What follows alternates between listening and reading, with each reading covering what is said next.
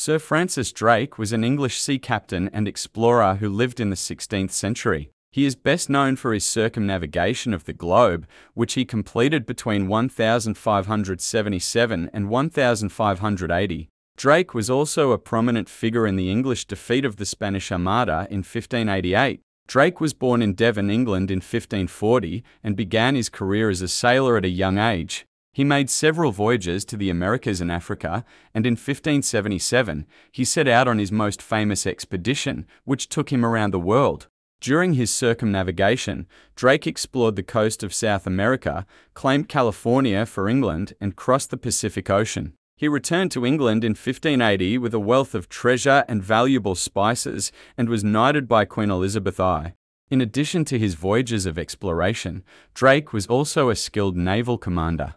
He played a key role in the English defeat of the Spanish Armada in 1588 and was later involved in the English colonization of North America.